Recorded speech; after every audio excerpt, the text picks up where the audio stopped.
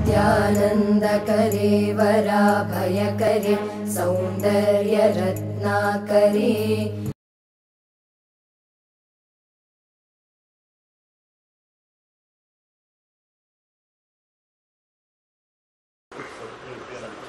ஓம் கணேஷாய நமகா நம்முடைய முன்னோர்கள் நம்முடைய அப்பா அம்மா நம்முடைய தாத்தா பாட்டி. அடுத்தது நாம். நம்மெல்லாம் செய்த புண்ணியம் இந்த ரெண்டாயிரத்தி பதினாலு மே மாதத்தில் இந்த உலகத்தின் ரொம்ப ரொம்ப பழமையான க்ஷேத்திரம்னு சொல்லக்கூடிய பாரத நாட்டினுடைய ஆன்மீக உயிர் நாடி க்ஷேத்திரம். இந்த வாரணாசி காசி பனாரஸ் அவிமுக்த க்ஷேத்திரம் ஆதி ஸ்மசான க்ஷேத்திரம்.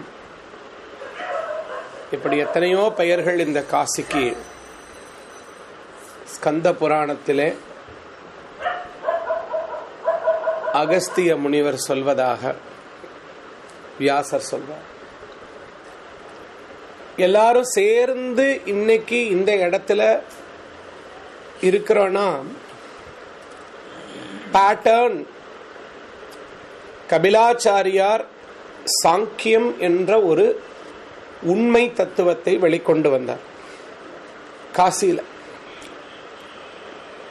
அதுல ஒரு முறை அப்போ இவரு அவங்க பொண்ணுக்கு வந்து நாளைக்கு அப்படியே ஜிகு ஜிகு ஜிகுன்னு ஒரு சுடிதார் எடுத்துட்டு போறாருன்னு வைங்க. அந்த பொண்ணு கேக்குது எதுக்குப்பா இதை எடுத்துட்டு வந்தீங்க? ஆனா நல்லா இருக்கே. அப்பா அவர் சொல்லுவார் என்னம்மா போன அஞ்சு மாசம் முன்னால தீபாவளி அப்ப இந்த மாதிரி ஜிலு ஜிலுன்னு வேணும்னு கேட்டேன். ஆனா சேலத்துல நீ கேட்குற மாதிரி இல்லைன்னு விட்டுட்ட காசியில பார்த்தேன் வாங்கிட்டோம். இதுதான் பேட்டர்ன் நேத்து இரவு நேரத்தில் கங்கை தாயினுடைய மடியிலே நின்று கொண்டு ரொம்ப அவேர்னஸோட அந்த பூஜை செய்யும் போது அந்த பேட்டர்னை எனக்கு அந்த அன்னை உணர்த்துகிறாள். நம்ம எல்லாரும் போன ஜென்மத்தில் இதே காசி கஷேத்திரத்தில். அம்மா எங்களுக்கு இன்னொரு ஜென்மம் வரும்போது நாங்கள் எல்லாரும் ஒன்றுபட்டு உன்னிடத்திலே வர வேண்டும் உன்னிடத்திலே ஒரு ஆன்மீக சத்சங்கத்தை நான்மீக சத்சங்கத்தை வைத்து கொள்ள வேண்டும் அப்படின்னு நம்ம கேட்டிருக்கோம். ரொம்ப ஸ்ட்ராங்காக கேட்டிருக்கோம். கேட்டதோட மட்டும் இல்லாமல் இப்போ என்னதான் அருள்குமாரோட பொண்ணுக்கு அந்த மாதிரி ஒரு ட்ரெஸ் வேணும்னு ஆசைப்பட்டாலும் அருள்குமார் கையில பைசா இருந்தால்தான் காசி கஷேத்திரத்துக்கு வந்தாலும் அந்த ட்ரெஸ்ஸை வாங்க முடியும். இதைத்தான் நம்முடைய ஜீவாதார சக்தி செல்ஃப் அவேர்னஸ் லைஃப் எனர்ஜி ஜீவசக்தி என்றெல்லாம் சாங்கிய யோகத்திலே கபிலாச்சாரியார் அவர்கள் சொல்லிக் கொண்டிருக்கிறார். இந்த காசி கஷேத்திரத்தில் நீங்கள் எல்லாரும் தெரிந்து கொள்ள வேண்டியது என்னன்னா நேற்று நடந்த அன்னபூரணி நேற்று நடத்திய ஒரு விளையாட்டு. கையில் எல்லோரிடத்திலும் காசு இருக்கிறது. அதுவும் நான் இவர்கிட்ட சுமார் ஒரு இருபதாயிரம் கொடுத்து வச்சிருக்கிறேன். ஆனால் நமக்கு சாப்பிட ஒரு கை சாப்பாடு நேற்று கிடைக்கவில்லை. அதுதான் வாழ்க்கை. இந்த பணம் இருந்து விட்டால் இந்த பதவி இருந்து விட்டால் இந்த பட்டம் கிடைத்து விட்டால் நாம் நினைத்தபடியெல்லாம் வாழலாம் என்று நாம் நினைக்கின்றோம். அது அப்படி இல்லை. அது அப்படி இல்லை. திருப்பதியில போய் மக்கள் குவியறது எதுக்குன்னா அங்கே போய் கேட்ட வரங்கள் அனைத்தையும் வாரி வழங்குகின்றான் திருவேங்கடமுடையான். ஆனா இந்த ஜனங்களுக்கு தெரியாது. அந்த திருவேங்கடமுடையான் எப்படிப்பட்டவர்னா ஸ்லோ பாய்சனர். அவருக்கு பேரே செடியாய வல்வினைகள் தீர்க்கும் திருமால் தான். கேட்டது எல்லாத்தையும் தூக்கி வாரி கொடுத்துருவார். அது கிடைச்சது மூலம் பாட்டு தீந்து மறுபடியும் போன பெருமாளே வேண்டாம் எனக்கு இனிமேல் இதெல்லாம். அதுதான் அவர் அங்கே பண்ணுற விளையாட்டு திருமலையில். மக்கள் எல்லாரும் நினைத்து கொண்டிருக்கிறார்கள். அவர் போய் கேட்டா எல்லாமே கொடுக்கிறாரு. அது கொடுக்கறதே எதுக்காகனா பின்னால வந்து நம்மை வழி நடத்தி அவர் இடத்துல இழுக்கிறதுக்கு. பட் இங்க அந்த மாதிரி அனுகிரகம்லாம் ஒன்றும் கிடையாது. வாழ்க்கைங்கிறது இங்க பார் நிலை இல்லாதது. எப்போ வேணாலும் உன் உடம்பு விழுந்துரும். கங்கை கரையில் நீ எரிஞ்சிடுவ இது இதுதான் வாழ்க்கைன்னு இந்த ஒரு உண்மை. இந்த வாழ்க்கை இருப்பதற்குள் நீ என்ன செய்ய அவ்வளோதான் அவ்வளவுதான் விஸ்வநாதர் இந்த உண்மையை யார் ஒருவர் ஏற்றுக்கொள்ள முடிகிறதோ அவர்களுக்கு தான் காசி கஷேத்திரம் இனிக்கும். இல்லைன்னா காசி கஷேத்திரம் இனிக்காது. காசி கஷேத்திரம் சிவனும் பார்வதிக்கும் கல்யாணம் ஆகுது. அந்த அம்மா சொல்றாங்கோ ஒரு தேன் நிலவு போயிட்டு வரலாம் பூலோகத்துல தேன் நிலவுக்கு கூட்டிட்டு போங்க என்ன? நமக்குன்னு தனியா ஒரு இடம். அங்கே யாரும் நம்மளை தொந்தரவு பண்ணக்கூடாது. இது நான் சொல்றது ஸ்கந்த புராணத்தில் வருது. சிவபெருமான் வா வா உன்னை கல்யாணம் பண்றேன்னு தெரிஞ்ச உடனேயே ஹனிமூனுக்கு நான் ஒரு இடம் தயார் பண்ணி வச்சிருக்கேன். கண்ணை மூடிக்கோ அப்படிங்கிறார். அந்த அம்மா அப்படியே ரொம்ப அப்படியே ரொமான்டிக்காக கண்ணை மூடினாங்க. உடனே ஒரு செகண்ட்ல கைலாசத்துல இருந்து கொண்டு வந்து நிறுத்தி கண்ணை தரேன்னா மணிகர்ணிகா கா- இல்ல ஆதி ஸ்மசான காட் மயானத்துல நிறுத்தி இருக்காரு கொண்டு வந்து. இந்த அம்மாவுக்கு ஒரே என்னடா இது? ஒரு தேன் நிலவுக்கு கூட்டிட்டு போங்கன்னா மயானத்துல எரிகின்ற சடலங்களுக்கு நடுவில் புருஷன் கொண்டு வந்து நிறுத்தி இதுதான் தேன் நிலவுங்கிறாரே. சொல்றார் நீ மயானப்படுதல் தான் தேன் நிலவு இங்கே பார்வதிங்கிறது யாருன்னா நம்முடைய சக்தி நம்ம உடம்புல இருக்கிற நம்முடைய உயிர் சக்தி நம்ம தான் பார்வதி. மயானம் காசிங்கிறது உலகத்தின் மிகப்பெரிய மயானம். The largest cremation ground on the earth விடிய விடிய சடலங்கள் எரிகின்றன. இங்கு இருக்கக்கூடிய சிவபெருமான் அகோர மூர்த்தியினுடைய பாவனையில இருக்கார். சிவபெருமானுக்கு மொத்தம் ஐந்து முகங்கள் உண்டு. அதுல ஒன்று அகோரம். கோரம்னா பயங்கரமானதுன்னு அர்த்தம். அகோரம்னா அதுக்கு ஆப்போசிட் எல்லாத்தையும் அழகாக பார்க்கக்கூடிய பாவம். எல்லாத்தையும் அழகாக எப்படி பார்க்க முடியும்? எல்லாத்தையும் சந்தோஷமாக எப்படி பார்க்க முடியும்னா நம்ம மனசு வந்து சுடுகாடாயிடும். நீங்கள் இந்த வெட்டியானெல்லாம் அங்கே பார்த்துருப்பீங்க அவங்களுக்கு வந்து இது சடலம் இது பிணம் இது எரிகிறது இது சாம்பல் அதெல்லாம் அவங்களுக்கு எதுவுமே கிடையாது. எந்த விதமான பற்றுக்களும் இல்லாமல் மனம் சந்தோஷமாக இருக்கும்போது உலகத்தில் இருக்கக்கூடிய எல்லோரையும் நாம் ஏற்றுக்கொள்ளக்கூடிய பக்குவம் வந்துவிடும். அதுதான் சதா சிவநிலை காசி விஸ்வநாதர கோடானு கோடி ஜனங்கள் இந்த பாரத தேசத்துல தொட்டு இருக்கிறாங்க அந்த லிங்கத்தை.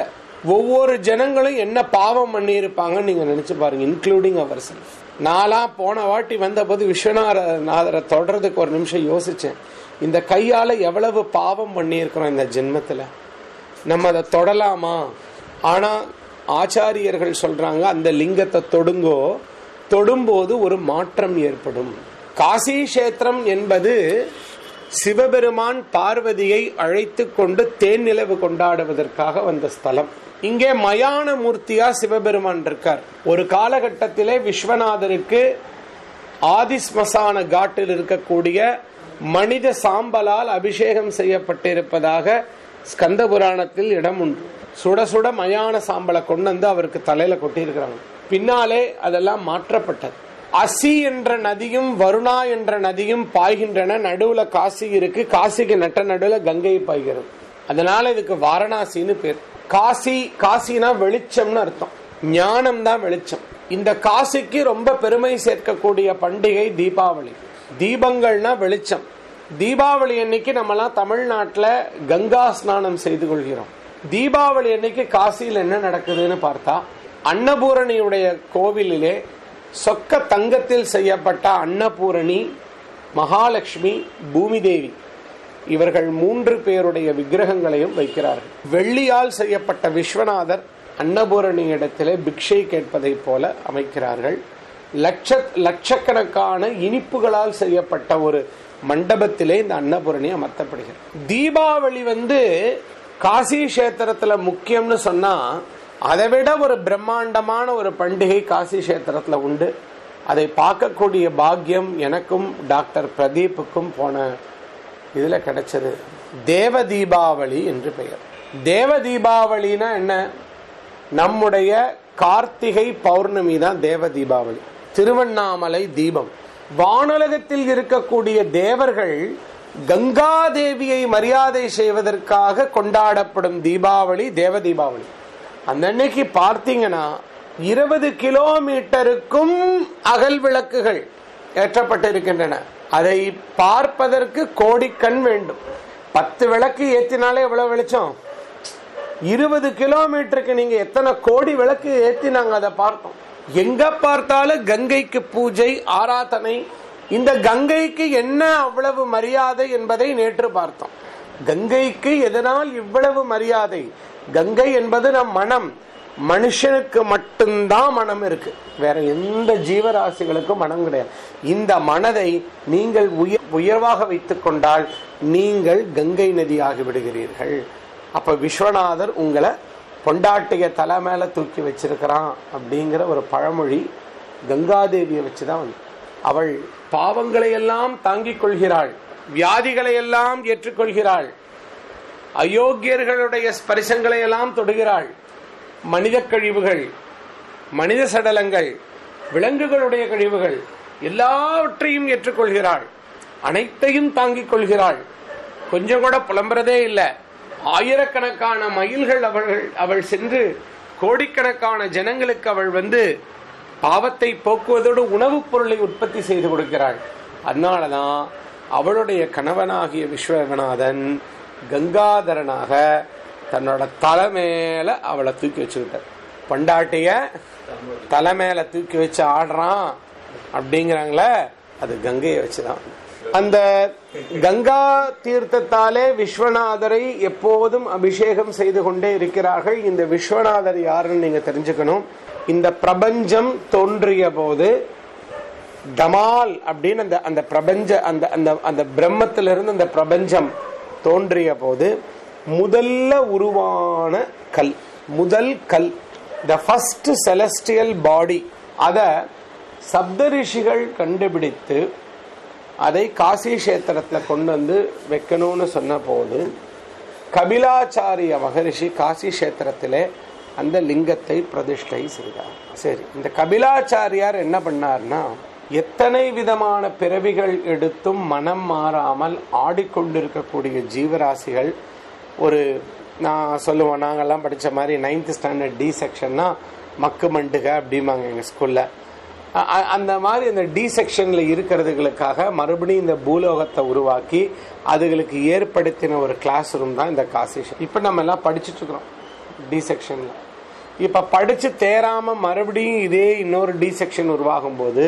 பிரளயம் வந்து உலகம் அழியும் போது இந்த கபிலாச்சாரியார் வேறு ஒரு கிரகத்தில் இந்த கங்கையை கொண்டு போய் அங்கே மறுபடியும் இந்த லிங்கத்தை கொண்டு போய் ஸ்தாபனம் பண்ணிடுவார். அப்போ நம்ம அங்கேயும் போய் படிக்கணும். எப்போ படிக்கணுங்கிறத முடிவு பண்ண வேண்டியது நீங்கள் தான் நான் தான் காசியினுடைய பொருள். அப்போ விஸ்வநாதரை எல்லாரும் தொடலான என்ன அர்த்தம்னா விஸ்வநாதர்ங்கிறது யாரு? இந்த பிரபஞ்சத்துக்கும் பிரபஞ்சத்தில் இருக்கிற ஒவ்வொரு பொருளுக்கும் உனக்கும் எனக்கும் எல்லாருக்கும் நாய்க்கும் பண்ணிக்கும் நரிக்கும் எல்லாத்துக்கும் எது காரணமா இருக்கோ அவர் தான் விஸ்வநாதன். விஸ்வம் அப்படின்னா பிரபஞ்சம்.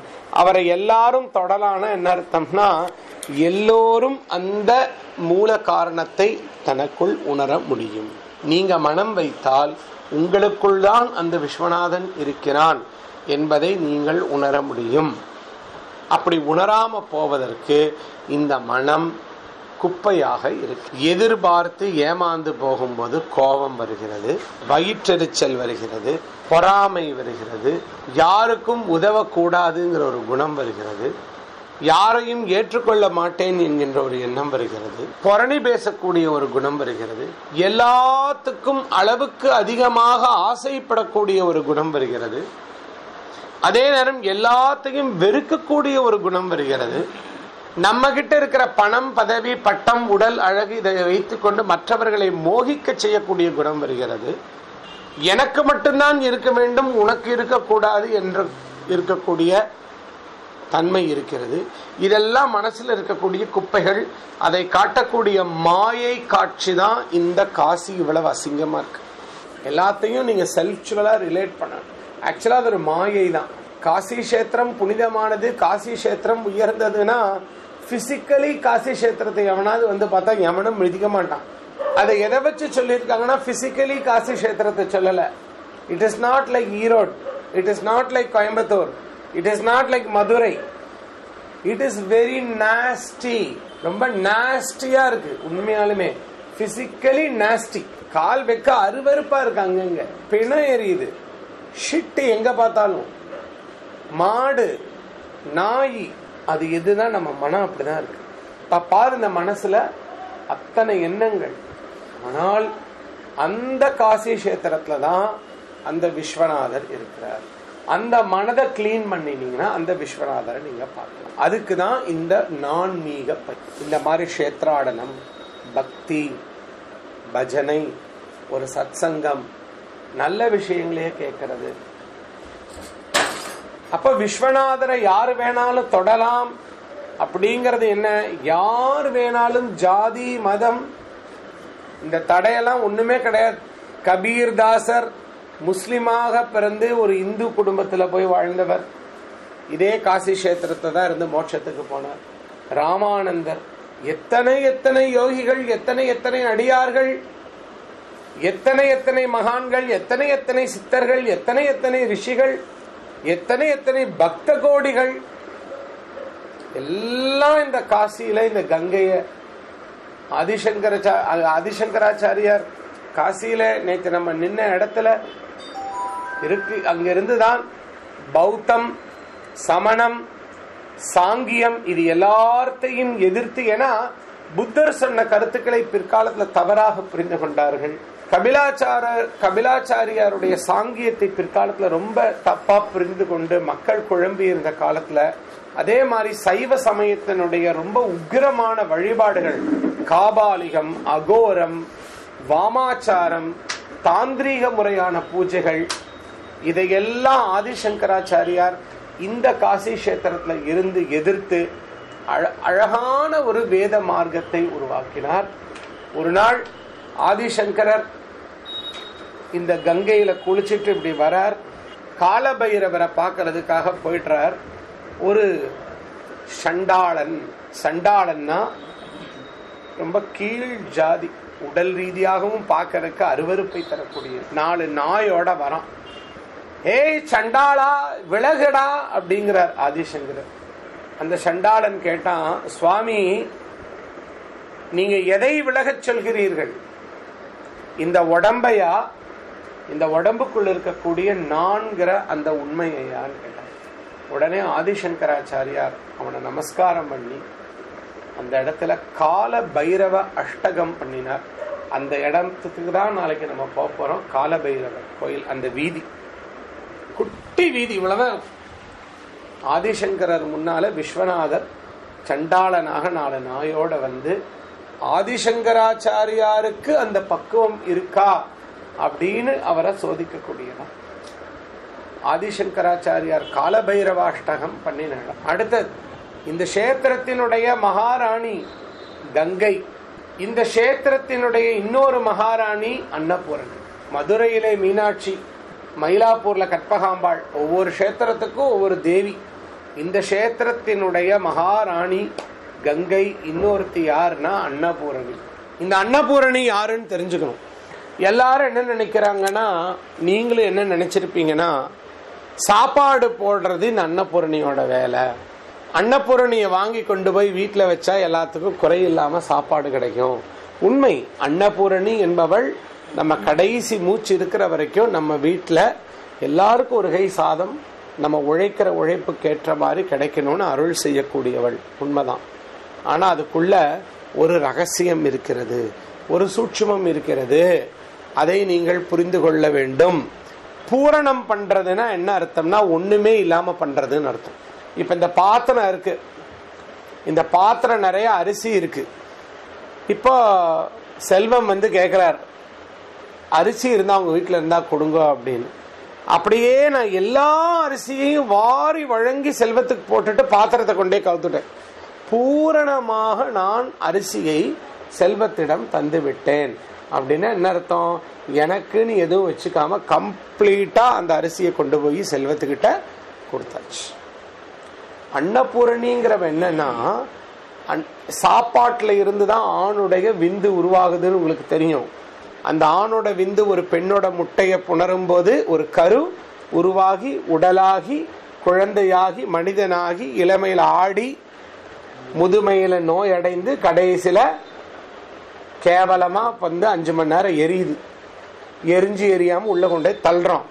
இந்த சைக்கிள் உடம்பெடுக்கிறது ஆடுறது சாகிறது. உடம்பெடுக்கிறது ஆடுறது சாகிறது. இது எப்போ நிற்கும்? சாப்பாடை கம்ப்ளீட்டாக நிறுத்தும் போது நின்று. அதுக்காக உண்ணாவிரதம் இருக்கிறதா? சாப்பாடை பூரணம் பண்ணுறதுன்னா என்ன? மீண்டும் எந்த விதமான ஆசையும் மனதில் இல்லாமல் ஒரே ஆசை. இனி பிறவியே இல்லை. சாப்பாடை கட் பண்ணிங்கன்னா மனம் ஏகாதேசி விரதம் சிவராத்திரி விரதம் இருக்கிறவங்களுக்கெல்லாம் தெரியும். சஷ்டி விரதம் இருக்கிறவங்களுக்கு சாப்பாடை கட் பண்ணினா மனம் அமைதியாகும். அன்னபூரணி என்பவள் யார்னா நமக்குள் இருக்கக்கூடிய சக்தி இனிமேல் ஒரு பிறவி எனக்கு வேண்டாம். இனிமேல் நான் பிறந்து இந்த பூமியில ஒன்றும் பண்றதுக்கு இல்லை. எப்படி பிறந்தாலும் இதே வாழ்க்கை தான் வாழணும். அதற்கு நல்ல காரியங்களை செய்து இனி சதாசிவத்தோட நான் ஐக்கியமாகணும். மீண்டும் ஒரு தாயினுடைய கர்ப்பத்தில் தோன்றி பால் குடித்து அன்னம் உண்ணும் இந்த ஜீவிதம் எனக்கு வேண்டாம். அப்படிங்கிற வைராகிய உணர்வு தான் அன்னபூரணி. அதனாலதான் மோக்ஷத்வாரகரி அப்படின்னு ஆதிசங்கரர் சொன்னார். ஆதிசங்கரர் அன்னபூரணி மேல அன்னபூரண அஷ்டகம் பண்ணியிருக்கார். மோக்ஷத்வாரகரி மோக்ஷங்கிற கதவை திறந்து விடக்கூடியவள். அதனாலதான் நம்ம நாட்டில் பிரசாதம் ரொம்ப முக்கியம். அந்த பிரசாதத்தை சாப்பிடும்போது அந்த அவேர்னஸோட அந்த நல்ல எண்ணங்களை நீங்க உள்வாங்கும் போது உங்களோட மைண்ட் டிரான்ஸ்ஃபார்ம் ஆகுது. அதனாலதான் ஒரு சின்ன ஃபங்க்ஷன் வச்சா கூட ஒரு சுண்டலாவதும் அவரோட மனைவி செய்து கொடுத்து நம்ம சாப்பிட்டுட்டு போறோம். அந்த அன்னம் பூரணமாக்கப்பட வேண்டும். அடுத்த சக்திங்க விசாலாட்சி. விசாலாட்சிங்கிறது யாருன்னா தாட்சாயணி சிவபெருமான் கல்யாணம் பண்ணிக்கிறார். தாட்சாயனுடைய அப்பா தக்ஷ பிரஜாபதி அவனுக்கு அது பிடிக்கல. சிவபெருமான நிந்தனை செய்தார். இந்த கதையை நீங்கள் திருவிளையாடலில் பார்த்துருப்பீங்க. கடைசியில் யாகத்துக்கு போன தாக்ஷாயினி அவமானம் தாங்காமல் சூசைட் கமிட் பண்ணிக்கிறான். சிவபெருமான் நேத்து கேட்டீங்க எதுக்காக ஊமத்தங்கா மாலைன்னு? சிவபெருமான் மனைவி இறந்துன்ன பைத்தியம் பிடிச்சி போயிறார். அந்த உடம்ப வச்சுக்கிட்டு அவருக்கு என்ன பண்றதுன்னு தெரியல. அப்போ ஞானமயமான மகாவிஷ்ணு தன்னோட சுதர்சன சக்கரத்தால தாட்சாயினிய ஐம்பத்தியோரு பாகமா வெட்டினார் வெட்டி இந்திய நாடு முழுவதும் இப்படி தூக்கி வீசினார் அந்த உடம்பு அப்படின்னா என்ன அர்த்தம்? இந்த ஆதார சக்தி பிரிஞ்சு பிரிஞ்சு பிரிஞ்சு இருக்கு. உங்களுக்கு மோட்சத்துக்கு போகணும்னா ஒவ்வொரு விதமான ப்ளஷர்லேருந்து நீங்கள் விடுபடணும். அதனால தான் சொன்னேன் நீ நான்வெஜ்ஜை விடு. நீ காரத்தை விடு. நான் ஸ்வீட்டை விடுறேன். இப்படி ஒவ்வொன்றுலேயும் ஒவ்வொன்றுலேயும் ஒவ்வொன்றுலேயும் ஒவ்வொன்றுலேருந்து நம்ம விடப்படணும் அதனால தான் காசிக்கு வந்தா எதையாவது விடணுங்கிறது அதுதான். புரிஞ்சுதா? அப்ப தாக்ஷாயினியுடைய உயிர் வந்து விழுந்த இடமும் வலது காது வந்து விழுந்த இடம் தான் இந்த மணிகர்ணிகாங்கள் அதனாலதான் இவளுக்கு ஆதி சக்தி மாதா. ஆதிசக்தி பராசக்தி அந்த உயிர் தட்சாயனுடைய உயிர் இங்கதான் வந்து விழுந்து கூட இந்த காது அதான் மணிகர்ணிகாங்கள் அந்த தா- அந்த விசாலாட்சிக்கு பின்னால் ஒரு குட்டி முகம் பார்த்துருப்பீங்க. அதுதான் ஒரிஜினல் பீடம். முன்னால் வந்து பிற்காலத்தில் வந்து நம்ம இந்த சிலையை வந்து பெருசாக வைத்திருக்கிறோம். ரொம்ப ரொம்ப பவர்ஃபுல் டேட்டு விசாலாட்சி. அல்ல காஞ்சி காமாட்சி மதுரை மீனாட்சி காசி விசாலாட்சின்னு மூணு முக்கியமான தேவிகள். அக்ஷினா கண்ணு விசாலமான பார்வை. இந்த வாழ்க்கையை பற்றி இந்த உலகத்தை பற்றி நம்ம விசாலமான பார்வை வைத்திருக்க வேண்டும். அந்த விசாலமான பார்வை வாழ்க்கையை பற்றி வைத்துக் கொள்வதுதான் விசாலாட்சியினுடைய தத்துவம். அப்போ நம்முடைய பராசக்தி நம்ம தான் பராசக்தி இங்க மூணு தத்துவமா இருக்கு. கங்கை அன்னபூரணி இவங்க மூணு பேருக்கு நடுவில் சிவபெருமான் இருக்கார். ம்? அடுத்தது இந்த ஸ்தலத்தினுடைய இன்னொரு பெரிய பெருமை என்னன்னு பார்த்தீங்கன்னா துளசிதாசர். ராம் போலா என்ற பெயரில் பிறந்து வாழ்ந்த துளசிதாசர் பிறவியிலேயே ஹனுமானுடைய அம்சமாக கருதப்படுகிறார். அவர் பிறந்தபோது அவருக்கு வால் இருந்திருக்கு பல்லும் இருந்திருக்கு. பிறந்த உடனே அவர் ராமநாமம் சொல்லியிருக்கிறார். இந்த குழந்தை வந்து ஒரு பேய் குழந்தை அப்படின்னு சொல்லி ஊர்க்காரங்க என்ன சொல்லிட்டாங்கன்னா இந்த குழந்தைய கொண்டு போய் நீங்கள் எங்கேயாவது விட்டுட்டு வரலன்னா நாங்கள் வந்து இந்த குழந்தைய கொன்றுவோம் அப்படின்னு சொல்லியிருக்காங்க. அதனால ராம்போலாவுடைய அப்பா அந்த குழந்தைய கொண்டு போய் ஏதோ ஒரு ஊரில் விட்டுட்டார். ராம்போலாவோட அம்மா செத்து போயிட்டாங்க. அப்பாவும் பின்னால் செத்து போனாங்க. இந்த பையன் எந்த ஊரில் போய் போட்டாங்களோ அங்கே ஒரு ஹனுமான் கோவிலில் இருக்கிற பூஜாரி எடுத்து வளர்க்க ஹனுமான் கோயிலையே கதியாக கொண்ட அந்த பையன் ஹனுமானுக்கு கட்டின வேட்டியை தான் அவன் ட்ரெஸ்ஸாக போட்டுன்ட்டு இருந்திருக்கான். அங்கே வச்ச எளிமையான உணவை தான் அவன் சாப்பிட்டுன்ட்டு இருந்திருக்கான். அவன் அப்படியே வளர்ந்து ஹனுமானுடைய அருளால ஸ்ரீமத் வால்மீகி ராமாயணத்தை கரைத்து குடித்தவன். மிக அழகான இளைஞன். இந்த கங்கை கரையை ஒட்டி இருக்கக்கூடிய ஏரியால போய் அவன் வால்மீகி ராமாயணம் சொன்னா ஆயிரக்கணக்கில் கூட்டம். அப்போ இஸ்லாமியர்களுடைய ஆட்சி வீரியம் பெற்றிருந்த காலகட்டம். பக்தியை வளர்க்க வேண்டிய காலகட்டமாக இருந்திருக்கிறது. அப்போ ஒரு பெ- பெரிய பணக்காரன் அந்த ஊர்ல ராம்நகர்ல. ஒரே பொண்ணு மமதா பாய்னு பேர் அவருக்கு. அழகி. அப்போ என் பொண்ணை நீங்க கல்யாணம் பண்ணிக்கோங்க. ஏன்? ராம்போல சொல்றான். நான் அம்மா அப்பாலாம் இல்லாதவன். ஹனுமான் கோவில்ல இருக்கேன். ராமாயண பிரவச்சனம் பண்றதுனால எனக்கு பணம் வருது அவ்வளவுதான். இல்ல நீங்க வால்மீகி ராமாயணத்தை இவ்வளவு உயர்ந்ததா சொல்றீங்க டெய்லி நைட்டு என் பொண்ணு வந்து நீங்க சொல்றதுக்கு ஈக்குவலா அதை பத்தி வீட்டில் வந்து எங்க ஒய்ஃப் கிட்ட பேசுறா. என் பொண்ணை நீங்க கல்யாணம் பண்ணிக்கிட்டீங்கன்னா ரெண்டு பேரும் சேர்ந்து பக்தி மார்க்கத்தை வளர்க்கறதுக்கு இதை என் பொண்ணுக்கு இதுல விருப்பம். நீங்க என் பொண்ணை கல்யாணம் பண்ணிக்கோங்க.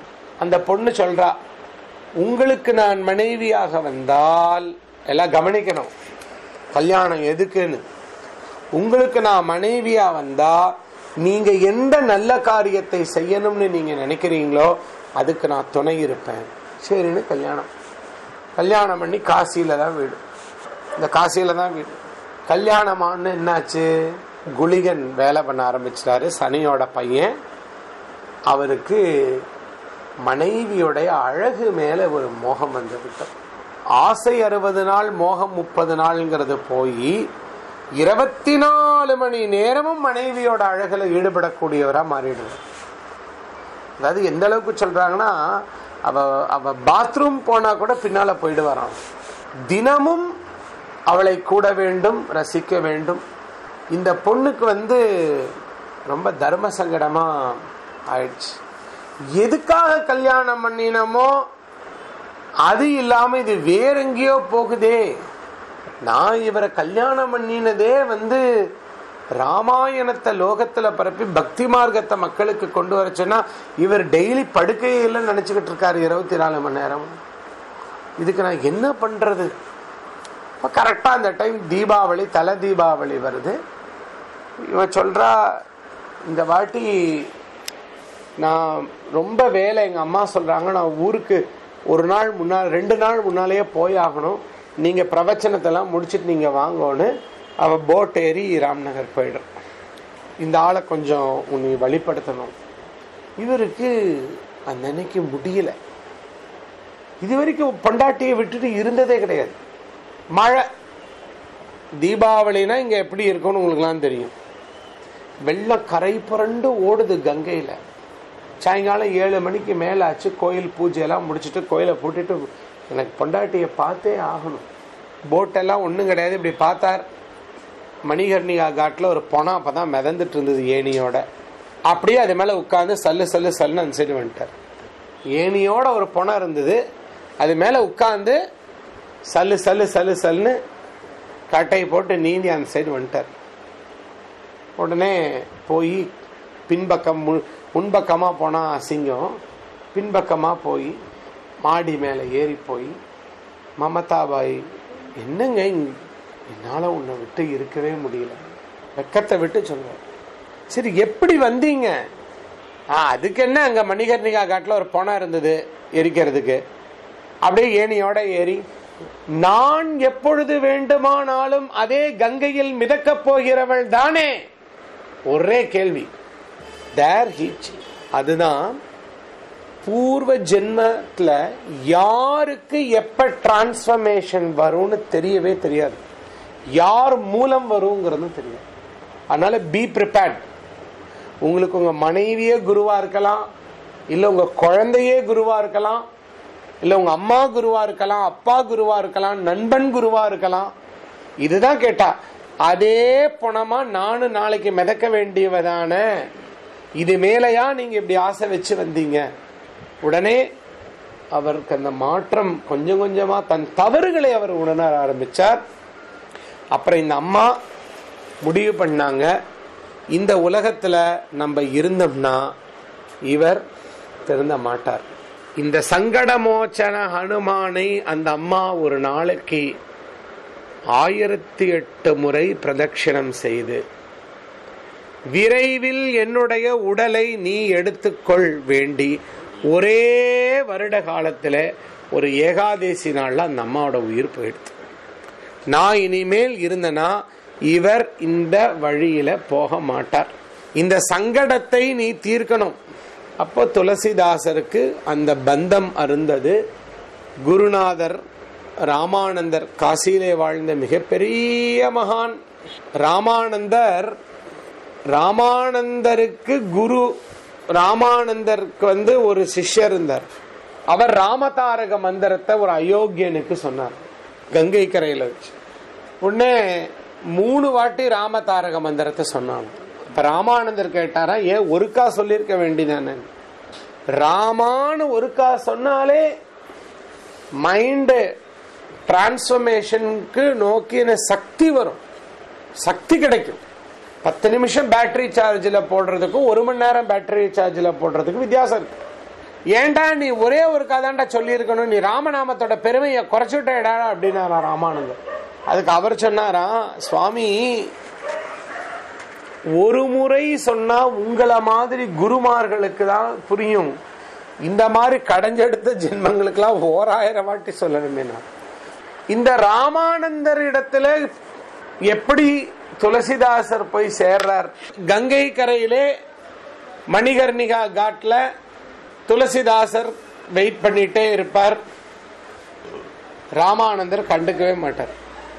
அப்புறம் ஒரு நாள் துளசிதாசர் குளிச்சுட்டு வேலை வரும்போது ஒரு கீழ் ஜாதிக்காரன் அவரை போய் வேண்டே தொடறது.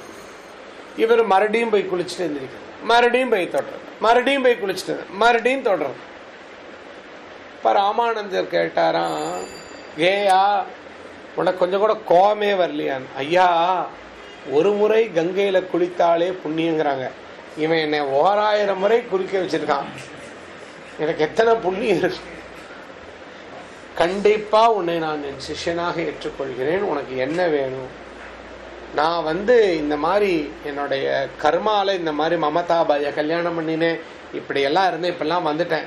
அவளோட ஒரே எய்ம் இந்த ராமாயணத்தை நான் பரப்பணும். என் மனைவியோட எய்ம் இந்த ராமாயணத்தை நான் பரப்பணும்னா என்ன பண்ணணும்? உனக்கு என்ன வேணும்? நான் ஹனுமானை பார்க்கணும். எடுத்துன்னு வந்து ஹனுமானை பார்க்கணும். இது விஸ்வநாதரை பார்க்கணும்னா கொண்டு லிங்கத்தை காட்டலாம். ஹனுமானை பார்க்கறனா எங்க போய் பார்க்கறது? சரி. சங்கட மோச்சன ஹனுமான் சந்நிதியில டெய்லி வால்மீகி ராமாயணம் சொல்றாங்க. ஹனுமான் அங்க வரார். நீ போய் கண்டுபிடிச்சுக்கோ அப்படின்ட்டு அங்கதான் இருக்காரு நான் பாத்துக்கிறேன் உனக்கு டெய்லி அங்க போறது இந்த பஜனை பாடிட்டு இருக்கிற மேடையில தான் அந்த காலத்துல இருந்து அந்த இடத்துல தான் வால்மீகி ராமாயணம் சொல்லுவாங்க. சங்கட மோச்சன ஹனுமானை இவர் அப்படியே பார்க்கறது எங்க ஹனுமான் இருக்கிறாரு? எங்க ஹனுமான் இருக்கிறாரு? எங்க ஹனுமான்? இவருக்கு ஒண்ணுமே புலப்பட ஓ மறுபடியும் ராமானந்தர்கிட்ட வந்து எங்க போய் ஹனுமானை கண்டுபிடிக்கிறது? ஒரு வயசான குஷ்டரோகி வடிவத்துல ஹனுமான் இன்னைக்கு வருவார் போய் பார். உடனே பார்த்துட்டு இருந்தாரு தூணுக்கு நடுவில் அப்படியே ஓரத்தில் குளிருக்கு நடுங்கிட்டு இப்படி போர்வையை போத்துட்டு ஒரு ஆள் இப்படி கண்ணை முட்டு இப்படி பார்த்துட்டு இப்படி உட்கார்ந்துட்டு இருக்கார். பாதத்தில் பார்த்தா குஷ்டம். இதுதான் ஹனுமான். ஹனுமான்னா யாரு? சுயநலம் இல்லாமல் நீங்க எப்பெல்லாம் இருக்கிறீங்களோ அப்ப நீங்க தான் ஹனுமான். ஹனுமான்ங்கிறது நமக்குள்ள இருக்கக்கூடிய உதவி செய்யும் சேவை செய்யும் மனப்பான்மை. அந்த குரங்கு போன்ற மனம் சுயநலம் இல்லாமல் மாறும்போது இறைவனுடைய திருவடியை தாங்கக்கூடிய பாக்கியத்தை பெற்று விடுகிறது. அதனால்தான் ராமச்சந்திரமூர்த்தியுடைய பாதார விந்தத்துக்கில ஹனுமான போட்டிருக்கு. அப்ப காலை போய் இப்படி பிடிச்சிடுறார். ஹனுமானே நீங்க என்ன நான்லாம் ஹனுமான் கிடையாது. போடா போடா. கத்துறாரு ஹிந்தியில. நீ தான் ஹனுமான்.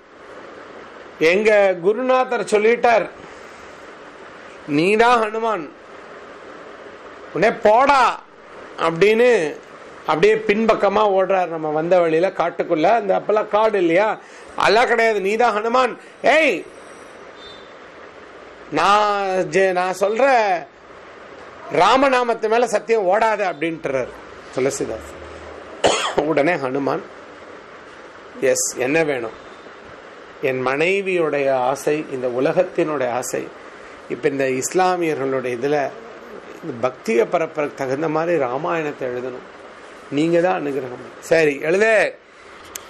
ஹிந்தி துளசிதாசருடைய நார்த் இந்தியாவில் வால்மீகி ராமாயணம்லாம் யாருக்கும் தெரியாது. சவுத் இந்தியாவில் வால்மீகி ராமாயணம்னா தமிழ்நாட்டுக்காரனுக்கு தெரியும் நமக்கு கம்பராமாயணம் தெரியும். நார்த் இந்தியாவில் அயோத்தியாவுக்கு போனால் கூட வால்மீகி ராமாயணத்தெல்லாம் ஒருத்தருக்கும் தெரியாது. சமஸ்கிருதம் படிச்ச பண்டிட்டுகளுக்கு தான் தெரியும். இங்க முழுக்க முழுக்க முழுக்க துளசிதாசருடைய ராமச்சரித்திர மானஸ்.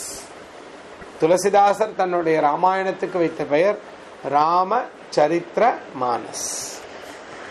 நம்ம ஊர் நம்ம வீட்டில் இருக்கக்கூடிய திருக்குறள் புஸ்தகத்தை போல வடநாட்டில் இருக்கக்கூடிய எல்லா வீடுகளிலும் ராமச்சரித்திர மானஸ் இருக்கின்றது. டெய்லி ஒரு பேஜ் வாசிக்கிறாங்கப்பா. நான் கேள்விப்பட்டது. ஒரு பேஜாவது ராமச்சரித்திர மானஸ்ல டெய்லி வாசிக்கிறாங்க.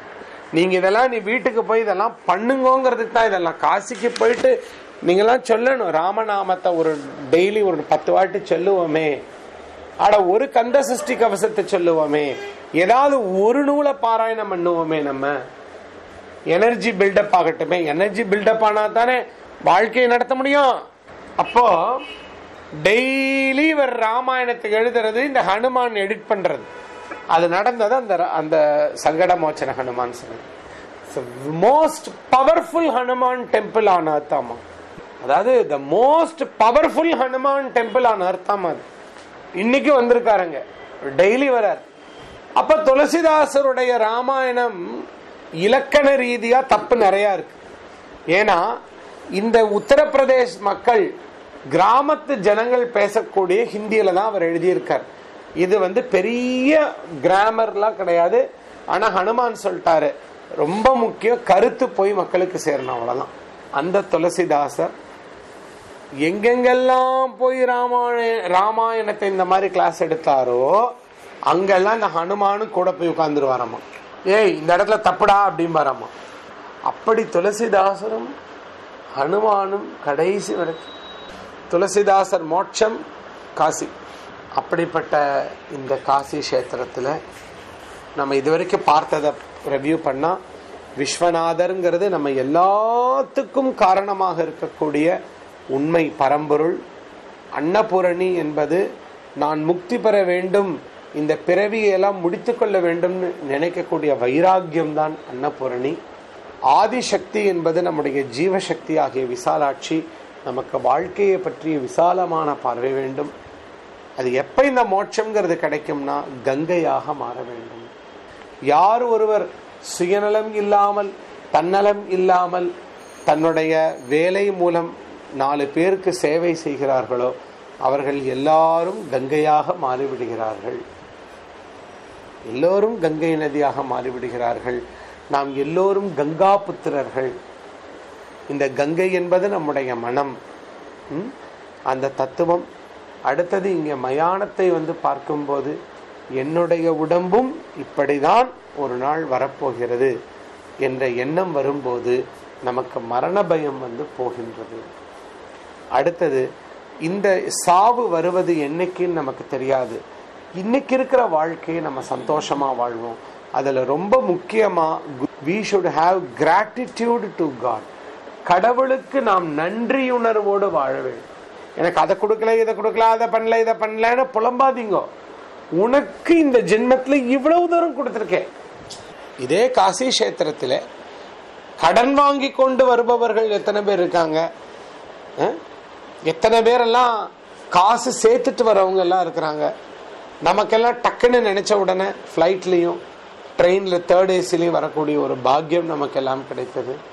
அதே மாதிரி எத்தனை பேர் ரோட்டில் சாப்பிட்றவங்க பட் நமக்கெல்லாம் மேலே வந்து கல்யாண வீடு மாதிரி ஒரு அரேஞ்ச்மெண்ட் அப்போ இறைவன் வந்து நம்ம எல்லாத்தையும் இதெல்லாம் எதுக்கு நமக்கு கொடுக்குறாருன்னா you have to take to the next level எல்லாரும் நல்லா கேட்டுக்கோங்க.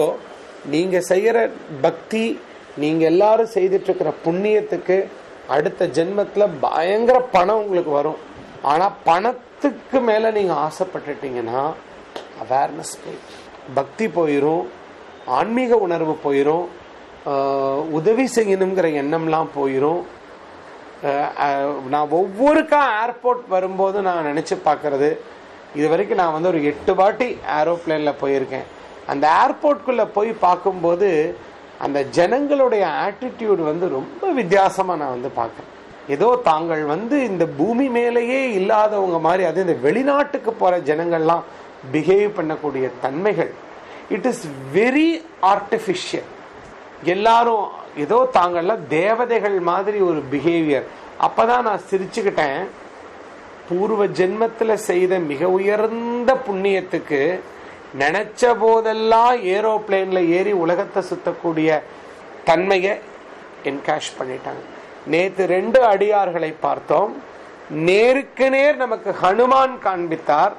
ராமநாமத்தை உருகி சொல்லிக் கொண்டிருக்கக்கூடிய அவர்களுக்கு நீங்க மரியாதை கொடுத்து ஒரு பத்து ரூபாயை தந்தபோது வேண்டவே வேண்டாம் அப்படின்னு சொல்லி நம்மளை ஆசீர்வாதம் பண்ணிட்டு போனபோது அந்த பத்து ரூபாய்க்கு மரியாதை இல்லாமல் போயிடுச்சு அந்த பத்து ரூபாய்க்கு பதில் ஒரு ஆயிரம் ரூபாயை வாங்கி கொடுத்துருந்தாலும் கண்டிப்பாக அவங்க ரெண்டு பேரும் அதை வாங்கியிருக்க மாட்டாங்க. There is no value for ஆனால் அதே நீங்கள் அடுத்த ஜென்மத்தில் பணம் ஏன்னா இந்த இந்த இந்த ஜென்மம் முடிஞ்ச உடனே சனி முன்னால நீங்க செஞ்ச பாவம் புண்ணியத்துக்கு நீங்க ஆடிட்டிங் ஷீட் உட்கார்ந்தாகணும். அப்போ கேட்பார் நீ வந்து காசிக்கு போன நீ ரேணுகா தேவி கோயில் நடத்தின நீ வந்து உரம் போடாம நீ வந்து நிலத்தை பண்ணின இதுக்கெல்லாம் வந்து பிறக்கும் போது இந்த வீட்டில் பிறந்து எல்லாம் ஓகே ஓகே ஓகே ஓகே ஆசைப்பட்டீங்கன்னா எதெல்லாம் போயிரும்னா உயர்ந்த குணங்கள் எல்லாம் அதனால தான் பார்க்குறோம் உயர்ந்த பணக்காரர்கள் வசதி படைத்தவர்களுக்கெல்லாம் அதனால தான் அடியார்களெல்லாம் பாருங்க சாதாரண ஒரு குடும்பத்தில் தான் பிறந்திருப்பாங்க. ஏன்னா அந்த அளவுக்கு வசதியவே பயன்படுத்தாமல் போனதான் ஞானம் வந்து இன்னும் அதிகமாக வரும். அதனால தான் அடியார்களெல்லாம் பார்த்தீங்கன்னா ரொம்ப ஏழ்மை வறுமை வியாதி இப்படி வந்து அவங்கெல்லாம் பிறந்துப்பாங்க அவங்கெல்லாம். ஏன்னா அவங்களுக்கு மற்றதெல்லாம் எதுவுமே வேண்டாம். பட் நான்லாம் வேண்டும் போது எப்படி வேண்டுவேன்னா பகவானே எல்லாமே கொடுத்தாலும் ஒருபோதும் உன்னை மறவாத நிலை. ஒருபோதும் உன்னை மறவாத நிலை வந்து நீ கொடு. உன் உன் பெயரால நாலு பேர்த்துக்கு நல்லது சொல்லக்கூடிய ஒரு பாக்கியத்தை நீ கொடு. இப்ப எனக்கு வந்து ஓரளவுக்கு இந்த ஜென்மத்துல வசதி இருக்கிற வீட்டில் பிறந்ததுனால தான் படிச்சு ஒரு நிறுவனத்துல வேலைக்கு வந்து இன்னைக்கு உங்களுக்கு உதவி செய்ய முடியுது. பட் அவேர்னஸை நான் வச்சிருக்கிறேன். நான் அந்த மாதிரி குடும்பத்தில் வந்தாலும் ஆட்டம் போடாமல் இப்படி இருக்கணும். அந்த பிரார்த்தனையை நீங்கள் பண்ணுங்க. அதே மாதிரி யார் எதை விட போறீங்கிறது உங்களுடைய பர்சனல் காசிக்கு வந் காசிக்கு வந்துட்டு போகும்போது எதையாவது ஒன்று விடணும்னா என்ன அர்த்தம்னா ஒவ்வொரு விஷயத்தை விடும்போது தான் நம்ம மனம் அடுத்தடுத்த ஸ்டேஜுக்கு போகும். அப்போது அது வந்து உங்களுடைய பர்சனல் கங்கையில் நம்ம ரைடு போயிட்டு வந்து கடைசியாக கால பைரவரை போய் பார்க்குறோம். காசிக்கு பிரசிடென்ட் காலபைரவர். காலபைரவர் யாருன்னா பிரம்மா ரொம்ப திமிர் எடுத்து எல்லாத்துக்கும் நான் தான் காரணம் என்னால தான் எல்லாம் நடக்குது அப்படின்னு ஆடின போது சிவபெருமானுடைய நெற்றிக்கண்ணிலிருந்து தோன்றினார். தன்னுடைய கை விரலால பிரம்மாவோட ஒரு தலையை கிள்ளி எடுத்தார். எந்த தலை ஆணவத்தோட ஆடிச்சோ அதை கிள்ளி எடுத்தார். அவர் தான் காலபைரவர். பிரம்மாங்கிறது யாரு? நம்ம தான் எப்பெல்லாம் நம்ம திமிரு வருதோ அப்ப ஞானம்ங்கிற பைரவரை உள்ள அனுப்பிச்சிடணும். டே ஆடாத. அட்டி. ஒழுங்கு மரியாதையா உட்காரு. அந்த கால பைரவருக்கு வாகனம் நாய். நாய் வந்து டைம் சென்ஸ் உடையது. ஆதி காலத்திலே காலபைரவருடைய வீதியை வச்சுதான் உலகத்துக்கே டைம் மெஷர் பண்ணினாங்க. இந்த காலபைரவர் ரொம்ப கோரமாக தான் இருப்பார். இப்படி கையில் சுருட்டு அந்த கஞ்சா பைப்போட இருப்பார். அப்புறம் ஒயின் குடிக்கிற காலபைரவர் இங்கே இருக்கிறாங்க அதை நம்ம கேட்கலாம். நம்ம யூடியூப்பில் பார்த்தேன் ஒரு பாட்டில் ஒயினை உள்ளே ஊற்றுனா கம்ப்ளீட்டாக குடிச்சிடுறாரு அவர். பயங்கரம் ஆனால் நம்ம ஊர் கால பைரவருக்கும் இவருக்கும் என்ன வித்தியாசம்னா தமிழகத்தில் இருக்கக்கூடிய சைவ சமயம் நாயன்மார்களால் ரொம்ப ரிஃபைன் பண்ணப்பட்டது. எல்லாமே அழகு சாந்தம் அமைதி. பட் இங்க வந்து அந்த ஒரு கோரமான ஒரு வழிபாட்டோட தான் இதெல்லாம் இருக்கின்றது. இந்த கோரம் நமக்கு எதுக்கு தேவைன்னா நமக்குள்ளே தேவையில்லாத எண்ணங்கள் வந்து நம்மளை கஷ்டப்படுத்தாமல் இருக்கிறதுக்காக நமக்கு இந்த கோரம் தேவை. அந்த காலத்தில் வந்துப்பா காசிக்கு போகிறதுங்கிறது ஒரு லாங் யாத்ரா நீங்கள் ட்ரெயினில் வந்திருப்பீங்க நடந்து தான் போகணும். பணக்காரனாக இருந்தால் கூட தேர் யானையில தான் போக முடியும். போயிட்டு திரும்பி வர்றதுங்கிறதெல்லாம் பல நாடுகளை தாண்டி நீங்கள் போகணும். கலிங்க நாடு அந்த நாடு வடுக நாடு எல்லாம். அப்போது ஒரு கணவன் மனைவி இல்லறத்தில் செய்ய வேண்டிய கடமைகளை எல்லாம் முடித்து விட்டு வாரணாசிக்கு போயிடுவாங்க இங்கேயே இருந்து இங்கேயே இருந்து. அப்போ வயசான காலத்தில் இப்போ பிராமணர்களுடைய கல்யாணத்தில் பார்த்தீங்கன்னா தாலி கட்டுறதுக்கு முன்னால் காசி யாத்திரைன்னு ஒரு நிகழ்ச்சி இருக்குது நீங்க அவசியம் ஏதாவது பிராமின் கல்யாணம் நடந்தா போய் பாருங்க. மாப்பிள்ளை நல்லபடியா ட்ரெஸ் பண்ணி காசிக்கு போறதுக்கு அந்த காலத்துல என்னென்னலாம் எடுத்துட்டு போவாங்களோ இருக்கா? எல்லாம் எடுத்துட்டு போகும்போது மாமனார் போய் தடுத்து என் பொண்ணையும் கல்யாணம் பண்ணிட்டு நீங்க காசிக்கு கூட்டிட்டு போங்க அது காசிக்கு போறத தடுக்கிற சடங்கே கிடையாது. தப்பா புரிஞ்சு வச்சிட்டு இருக்கீங்க எல்லாம். என் பெண்ணை உங்களுக்கு திருமணம் பண்ணி கொடுக்கறேன். அவளோட சேர்ந்து நீங்க காசிக்கு போயிருங்க. அப்படின்னா என்ன? சிவசக்தி ஐக்கியமாயிடுங்கன்னு அர்த்தம். அப்போ வந்து உங்க இல்லற கடமைகளை எல்லாம் முடிச்சுட்டு நீங்க போங்க. அதனாலதான் கடைசி காலத்துல காசிக்கு போங்க அப்படின்னு. காசிக்கு போறதுனா ஐம்பது வயசுக்குள்ள போயிட்டு வந்துருங்கப்பா. ஏன்னா எல்லா இடத்துலயும் நடக்கணும். ஐம்பது வயசுல கை கால் நல்லா இருக்கிறதுக்குள்ள காசிக்கு போயிட்டு வந்துருங்க. அதனால இந்த தவறான எண்ணங்களை எல்லாம் முறியடித்து இதுக்கப்புறம் யார் யாருக்கு பிராராப்தம்னு இருக்கோ அவளுக்கு தான் வர முடியும். நம்ம நினைச்சப்போம் வருஷம் இருக்கா? காசி கஷேத்திரத்துக்கு வந்து கங்கை நதியை வந்து பார்க்கணும் என்று சொல்லி அனைவருக்கும் ஓம்